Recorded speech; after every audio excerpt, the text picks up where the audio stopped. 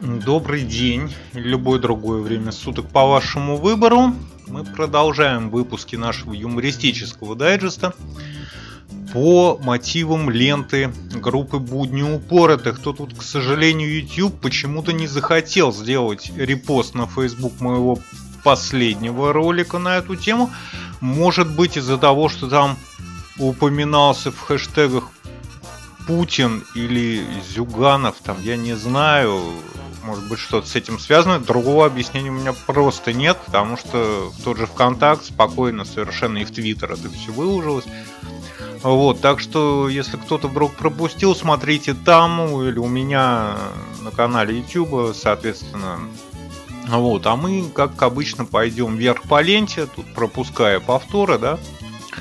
А вот тут вот, значит, протеерей Федор Бородин, вот, э, заявил, что э, Геннадий Зюганов, он не прав, сравнивая Иисуса, соответственно, с коммунистами. Что интересно, протеерей, он не стал э, как бы сравнивать тексты Нагорной проповеди, например, вот, с моральным кодексом строителя коммунизма, он просто сказал, что Карл Маркс, Энгельс, Ленин, люто Бога ненавидели и вообще сволочи.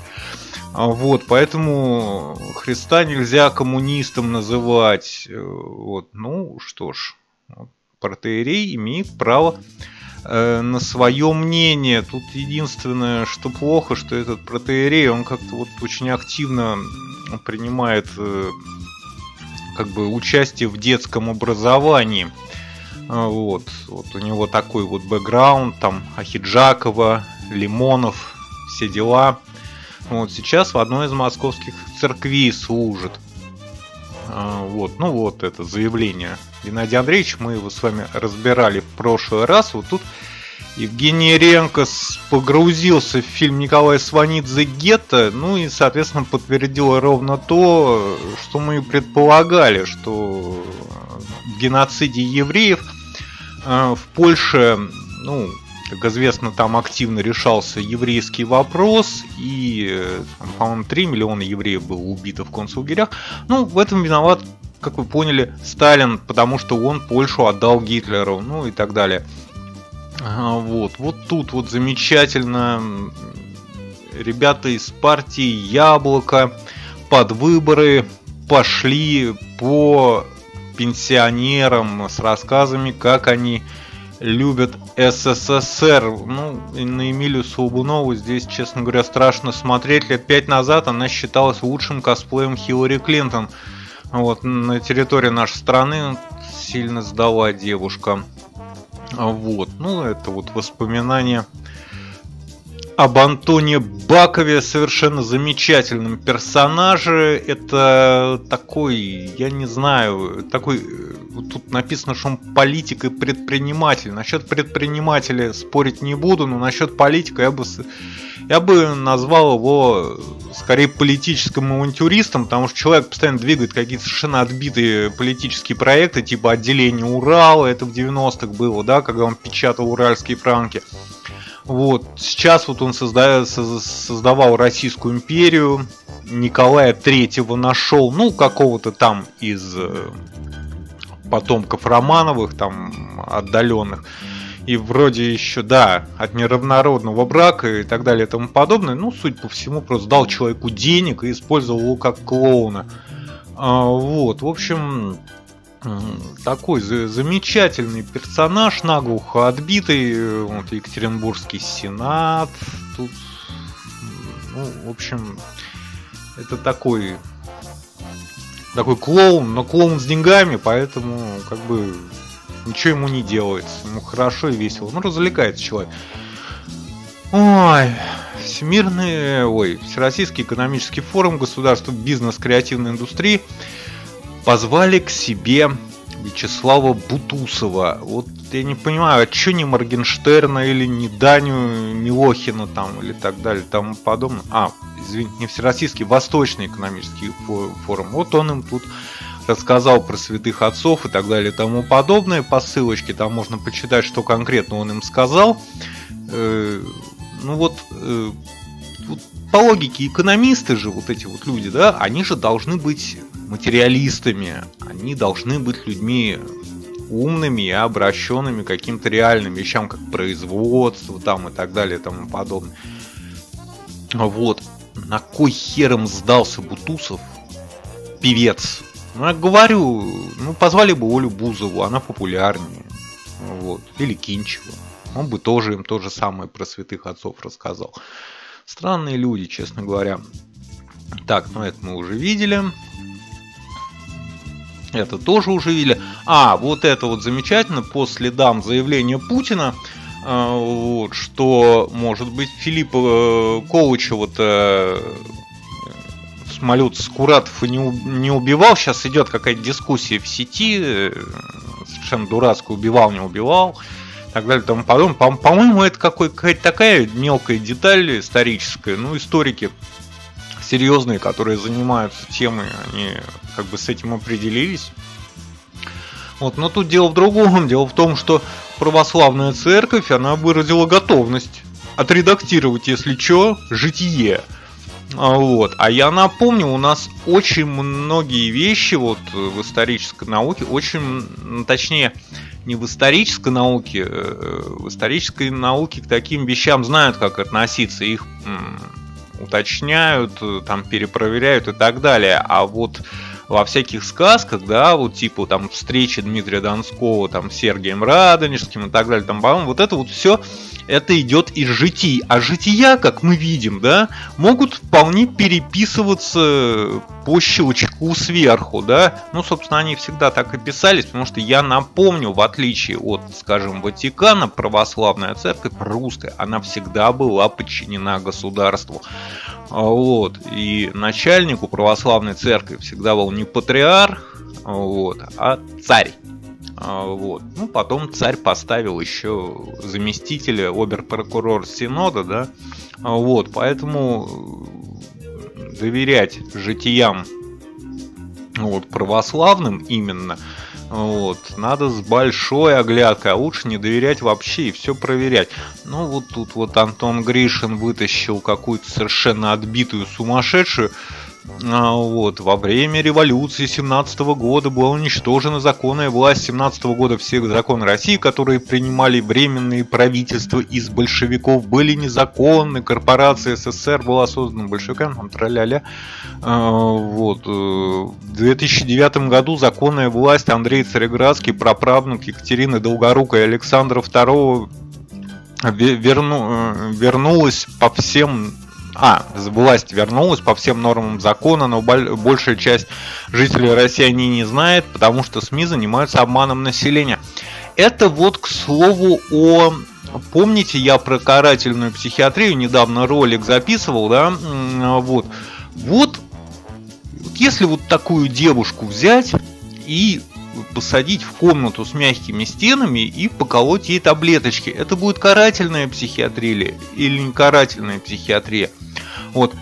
И нужна ли карательная психиатрия и психиатрия вообще? Вот, по-моему, нужна. Ну, сами понимаете, последние дни прошли под знаком перепалки Кости Семина и Маши Захаровой в Фейсбуке, но на эту тему есть отдельные ролики, так что смотрите их. Вот, российский мэр назвал Забайкалье местом, э, местом начала Второй мировой войны, да, ну потому что там были сражения на Холхенголе.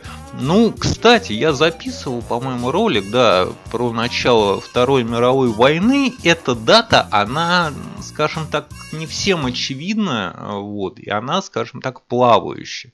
Потому что у китайцев это одна дата, а, вот, э, соответственно, у чехов каких-нибудь это другая дата, в Европе и США там на Западе считается 1 сентября 1939 года, да, ну, в принципе, почему бы мэру ну, вот, не считать э, началом Второй мировой войны бои на Холхенголе. У него, видимо, какая-то своя логика, да, ну, имеет полное право, в конце концов, почему нет? Ну вот, как раз, да, ролик про карательную психиатрию. А, вот. Так, что мы еще видим? Ну вот это все, вот эта перепалка про финансирование большевиков в Германии, идиотия. А, вот отличная картинка. Какой диктатор убил больше всего людей? Ну, я не знаю, тут, э, ну, не, ну, тут прекрасно все. Во-первых, тут э, подсчеты какие-то совершенно неадекватные, да, то есть вот Гитлер почему-то убил 17 миллионов всего, а Сталин 23. То есть больше по каким этим самым источникам все это считалось непонятно. Видимо, э, источниками послужили тараканы в голове автора. Вот Леопольд II 15 миллионов, хотя говорят про 20. Вот. Э, и замечательно, вот э, диктаторы, да, типа вот диктаторы, они все. Вот в таком случае непонятно, что здесь делает Энвер Паша, например, который не был диктатором. Что тут де- делает э, Хидаки Тодзе? Вот, нет, почему Хирохита нет? А, вот. Э, кстати, уч, учтем, что японцы э, завалили гораздо больше 5 миллионов человек, там только в Китае за тридцатку. Вот. Но вот если бы здесь был император Хирохита, он был бы на почетном втором месте тогда, после Мао Цзэдуна. Ну, по этим подсчетам, я говорю, это бред. Вот. Ну и разделение такое. Генерал-коммунист, генерал-коммунист, король-король. Ну, естественно, Гитлера, Гитлер у нас социалист. А, вот. Э, ну, в общем, лютый бред. Тут столько вот такая концентрация бреда вот в одной маленькой картинке, что просто, просто удивительно. Так, ну тут продолжаются разборки под постом Маши Захаровой. А вот, и вот тут вот девушка, ну, девушка посылает э, читать секретные документы о немецких деньгах Ленина в книгах. Вот, э, ссылки на книги она указывает в Википедии, и вот очень мне нравятся вот эти вот ссылки на высшее образование, там два высших, три высших, четыре высших. Вот, какая разница, сколько у тебя высших образований, если ты дурак? Вот, знаете, вот анекдот такой есть, замечательный, да? Вот, э, бабушка спрашивает, там, человек, ну, человек где учился, типа, он говорит, вот, у меня, типа, три высших образования. Он говорит, что такой дурак, тебя в одном институте выучить не смогу. Ну, вот это из той же серии. А вот, тут вот замечательный пост про Лешу, то есть не про Лешу Навального, фото для кликбейта, а вот про то, что в Калининграде умным голосованием начали торговать. То есть дайте нам денег, а мы вам подгоним избирателей а, вот, на участке. Ну, в принципе, это нормально. Вот сам изобретатель этой темы Навальный, он же либерал такой, весь за капитализм, за капитализм. А капитализм пред, предусматривает такие схемы. Вот очередной ролик про Монудаль.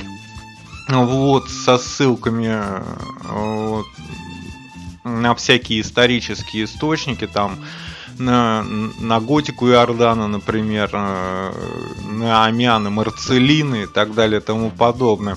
Вот это отступление Моны в историю, оно оказалось таким достаточно познавательным. Вот, ну тут очередные вот эти вот темы. У нас сейчас Шойгу пиарят просто каким-то совершенно диким образом в сетях непонятно. Ну, я снимал тоже ролик про это. Непонятно, его как преемника пиарят или просто как одного из лидеров Единой России перед выборами пиарят. Вот, ну и, естественно, все дурачки тут же орут, что вот, мы такие могучие-могучие, представляете, как американцы от нас убегут, там, если нами будут руководить Шойгу. Ну, пока что мы в Сирии видим, как от нас все бегают, да, мы там сидим уже сколько лет, вот, а обещали немножко побомбить и уплыть. Но нет, не получилось. А вот продолжение про Машу Захарову. Замечательный случай с Борисом Вишневским. Ну, Борис Вишневский, он, соответственно, либерал, яблочник и так далее и тому подобное. Совершенно лично мне не симпатичная фигура.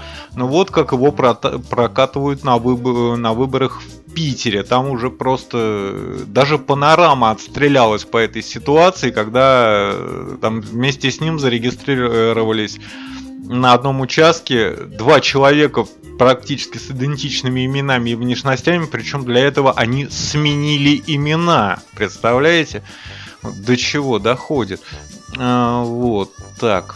Маша Маша. Воспоминания о Матвее Гонопольском, который на эхе Москвы зажег, да, я часть той силы, что вечно хочет зла и вечно совершает благо. Соответственно, вышел литературный спор между двумя интеллектуалами. Пушкин или Лермонтов это написал. Ну, для, для тех, кто не интеллектуал и не погружен в такие литературные тонкости, вполне очевидно, что написал это Гёте в Фаусте. Вот, замечательный такой фотоколлажик с Костей Семиным, да. Но это после того, как э, боты в Твиттере, ну и во всех остальных сетях почему-то начали называть его актером. Вот, то есть это было очень смешно. Так, ну это Маша, Маша. А, вот. Значит так, вот это вот реклама КПРФ, да? Вот, я не знаю. Дело в том, что вот те люди, которые занимаются вот, э, вот этими вот рекламными баннерами всякими, да, и так далее и тому подобное, вот, они вообще, по-моему, совесть потеряли окончательно. Ну вот, я все понимаю, конечно, но сравнивать э, буржуазные выборы с Великой Отечественной войной, ну, по-моему, это скотство и какое-то надругательство над памятью Великой Отечественной войны. Вот если их кто-нибудь за это бы прижал, я бы нисколько бы не расстроился. Это настолько некорректное сравнение, что... А они этим, кстати, занимаются постоянно. Вот э, Зюганов, Платошкин в своей риторике, они постоянно сравнивают эти две вещи. Буржуазные выборы, да, на которых им-то, у них вопрос стоит там получить там 11 или 13 процентов, да, вот, и Великую Отечественную войну. Вот после этого, извините, вот да, даже если бы я до этого хотел за них как-то голосовать, вот после этого э, это невозможно просто. Ну, вот это вот забавная такая картиночка, это, соответственно, День знаний в студенческом медиацентре при МИФИ. А вот. Ну, тут э, явно батюшка, он просто приколист по жизни. Я напомню, в МИФИ, по-моему, у нас есть кафедра теологии. А вот. Ну, тут видно, что батюшка приколист по жизни. Тут э, вопрос в другом. А что это у батюшки в руках меч лорда Сита? Он же красный. То есть батюшка у нас изображает злоба персонажа Дарта Вейдера, да? А, вот, ну, на самом деле в самой как бы картинке ничего страшного нет. Ну, при, прикалываются люди. Бывает. Так, ну тут продолжают пихать в тех же комментах уже Роме Носикову, который там вписался за Машу Захару. А, вот, Виктор Ар, известный твиттерный тролль, сочиняет сценарий фильма «Строевик».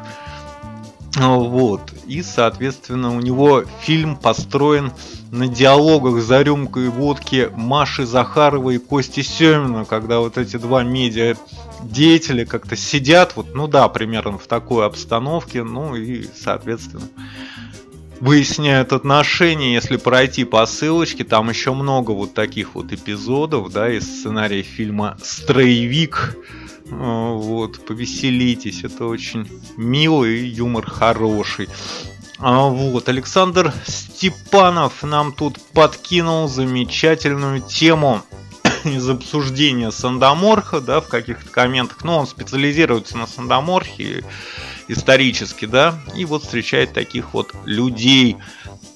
Вот, меня в прошлой жизни убили коммунисты в Тибете замечательная женщина. По поводу коммунистов в Тибете, прошлой жизни и так далее, я всем рекомендую подождать новых выпусков э, про Мону Даль, потому что у нее там будет и про Тибет, и про коммунистов, и так далее, и тому подобное. Вот это вот скрин из, как, из какой-то детской книжки – вот, я не знаю, может быть она в Туве издается. Вот, в общем, Субидей, Богатур у нас почему-то с лицом господина Шойгу опять. Ну, честно говоря, неприлично уже, по-моему. А, вот так пиарить, ну вот это вот свежий ролик я записал про первых э, руководителей ГУЛАГа, вот эти вот, знаете, картиночки постоянно, они мелькают по сетям, там, а, вот, э, там вот написано там первые руководители ГУЛАГа и такой вот 4 или 3 ряда евреев разных, да, в форме. Вот. Ну, как вы понимаете, это галтелая нацистская антисемитская пропаганда и ничего больше. Вот. Я там просто пару таких картиночек разобрал немножко, вот, ну, потому что, как вы понимаете, вот это все не соответствует действительности вообще. Так, ну это вот обсуждалось в роликах про Машу Захарову. Это как вот э, всякие люди привластные. Вот этот вот, по-моему, статс-секретарь Банка России и сенатор, да, как они волнуются перед свадьбой великого князя Гоги, а, вот, и вы итальянской девушки. Вот я, честно, не помню, как ее зовут. А, вот. А, вот это вот замечательная, э, я не знаю, видите, сколько подписок, да, читателей и так далее и тому подобное. Какая-то такая будто ферма, на самом деле девушка живет в Грузии, США, ну, в смысле в Джорджии. А, вот. И пишет вот такое, но Путина я бы оставил пожизненно президентом, можете от меня отписываться, помогите на еду и проезд. По-моему, это прекрасно. А, вот, ну и, значит, нас здесь произошла в православной церкви некоторая такая маленькая разборочка. Вот молодой священник, он как бы предложил, ну он сказал, что его достали уже прихожане, которые как бы ему указывают на то, что священники, мягко говоря, не соблюдают скромность, там имеют яхту, дорогие часы, вот, дорогой автомобиль, вот, и он призвал своих коллег, а вот, соответственно, ну, обнародовать налоговые декларации и так далее и тому подобное. Вот за что его постоянно, за, за что его сразу выкинули из, э, соответственно, запретили в служение, ну, то, что называется у них там, да. Ну и вот по этому поводу оправдывался господин Легойда, э, пресс-секретарь РПЦ. А, вот. Ну, грубо говоря, он сказал, что это наши внутренние дела, наше бабло, наши внутренние дела, и никого, кроме нас, не касаются. И не, не хрен было открывать рот, но как бы, соответственно, центральный аппарат РПЦ тут ни при чем, там с ним разбирался его собственный э, вот, начальник, э, владыка Сабатий. Э, вот. Ну, то есть все были аккуратно посланы на то есть и подробности о доходах священников никто не узнает. Вот. Ну и заодно там на человека навесили, что он там наркоман, там с проститутками общается и так далее и тому подобное. А, вот. Хотя, в принципе, этот вопрос э, он встает в православной церкви не в первый раз. Если вы помните, как-то были такие разборочки, там нестяжатели с, с сифлянами, да, вот, по-моему, при Иване Третьем они были, да, то есть это вот начало России самое, да, вот эти разборочки тянутся до сих пор, а, вот, тогда тоже там предлагали, чтобы церковь там как-то себя в финансовом плане вела более адекватно, вот, но очень не любят э, на, на наши церковные граждане, когда к ним залезают в карман. А, вот, ну вот это вот какой дикий коммент, это я просто в ступор впал, когда мне под очередным комментарием Маши Захаровой вот такое вот вылезло, да. Ну вот, это просто вообще непонятно кто. Там ребята потом полезли к человеку на страничку, там выяснилось, что он абсолютно ненормальный, потому что он с Герингом общается вот, чуть ли не лично. Вот, еще тут, э, э, извините, Адольф Гитлер, спаситель мира, семинар и так далее и тому подобное. То есть какой-то абсолютно отбитый нацист вот, с больной головой вот, пришел в комменты к Маше Захаровой. Ну вот так вот прошло последние несколько дней в группе. Надеюсь, этот ролик можно будет спокойно на, FB, э, на Facebook перепостить, да. Вот. Ну а мы, соответственно, по мере накопления информации будем э, вот, продолжать наши юмористические дайджесты. Всем хорошего настроения, всем добра, удачного вам дня.